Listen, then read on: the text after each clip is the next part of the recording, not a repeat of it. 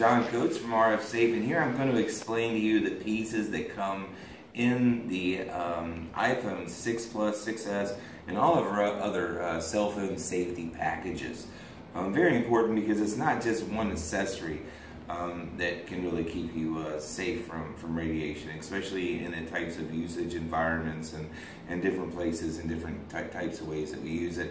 Um, and, uh, and of course, I want to reintroduce uh, our friend over here, uh, Dead Steve Jobs. And uh, of course, he's here because uh, he um, withdrew the uh, the app from the iPhone store that actually alerted iPhone users to extensive, excessive amounts of radiation, which in my opinion put millions of people's lives at risk. Uh, that app again is Tawkon, T-A-W-K-O-N. Uh, great if you're an Android user because it gives you a lot of information. But let's go over these here. Um, the way that the phone case is used, it, it simply snaps into the phone. Um, so you just go ahead and pull it out, pull it in. Um, it's a very durable plastic. You can see testimonials where they've even actually survived motorcycle crashes. Um, so um, you know, please visit rfsafe.com and just look up a motorcycle crash and check it out. Um, it's pretty impressive. Uh, you know, you always see drop tests, but you know, how often do you really see a, a good, uh, you know, a good motorcycle accident? But anyway, the RF Safe keeps the phone very, very well protected, especially for a nice, good screen blow. Um, but um, so here we have the case. Um, you know, it, it's also functional as a little stand. But now when you're texting, um, you would go ahead and turn it around like this because you've already achieved a critical distance between your body and the device.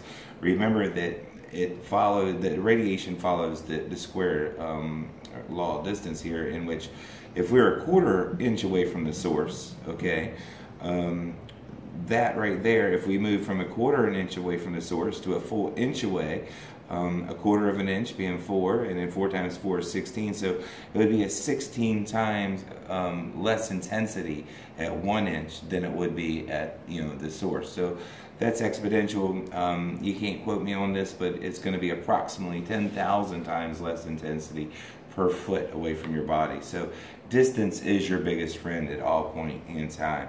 Um, so if you are texting, go ahead and just flip it around to the back and um, you know text away.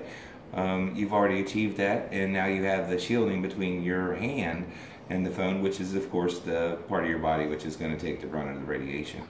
Um, but let's go ahead and talk about what some of these other pieces are for. We've actually demonstrated the effectiveness of just how well they block radiation in other videos. Um, please check them out. But let's look at the pieces that come in this kit. Um, one, we have an air tube headset. Um, this utilizes distance, okay, because basically when we plug in a a wire into a into a, a, a transmitter, um, that wire is going to act as an aerial, and you can see that video on our site as well. Um, so basically, when you just plug in a regular headset, um, you actually uh, this right here is now going to radiate the same energy um, and microwave energy that this cell phone does. Now, once it reaches these speakers, it drops off to an air tube, okay, which following the, the law of, of, of distance, uh, the square uh, root of distance there, inverse square law um, of distance actually. So um, by following that rule, we can see that we've gained a six inches of distance between our head and the device, and then these just simply just slip right into your ears. Um, now we, we take this a step further, and this is because, of course, um, I don't know if you've read much about the website, but uh, me and my wife lost a child back in 1995 related to RF radiation. So um, it wasn't cell phones, it was an occupational environmental hazard. But um, she sat in front of a 3.5 watt microwave radios all day. But um, it's very important when installing a ferrite bead. Is what I've just installed is one of the pieces, which we already actually add to the headset for you. And that is because it needs to be above the plug. And this is very important because the flume that surrounds the phone, the radiation, can actually bypass the ferrite and still go up the wire. Now, I'm going to be completely honest with you. This is not as big of a solution as what so many people think it is. Like I know uh, Joel over at uh, Berkeley um, actually suggest, suggested a, a, ferrite bead, an iron bead, as he put it, um, as protection from wired headsets. But that was only good prior to us getting into what we consider, um, well, as you can see, this this phone right here is working on Sprint LTE network. Um, there's also Sprint Spark. The gigahertz uh, we're talking about in the range of, you know, up to 2.6 gigahertz these days. Um, ferrites, when um, were peer reviewed in a study, um, which Joel actually refers to, were, were done back when the um, frequencies were basically 850, 950, and 1750 megahertz. That would have been, uh, you know, GSM, CDMA, and TDMA networks. Um, but so we have a ferrite bead um, that works in combination with this that, that can work as a sunblock. Now, now in the higher frequencies, is it effective? No.